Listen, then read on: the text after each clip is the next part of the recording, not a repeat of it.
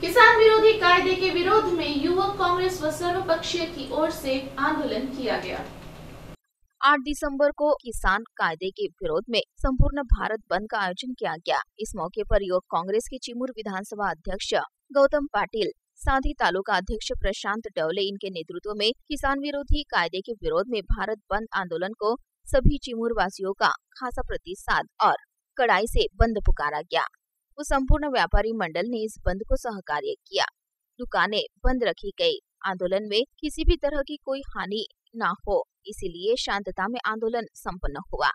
इस समय पुलिस का पुख्ता बंदोबस्त रखा गया था। साथ ही इस आंदोलन में कांग्रेस के तालुका कार्यकर्ता व आदि पदाधिकारी बड़ी संख्या में उपस्थित थे। सरकारने गेल्या दोन महिन्याच्या कालावधीमध्ये जे तीन काळे कायदे शेतकरी विरोधी काळे कायदे या देशामध्ये अंमलात आणलेले आहेत. ते कायदे देशाच्या व शेतकऱ्यांच्या हिताचे नसून ते शेतकऱ्यांचे नुकसान करणारे आहेत.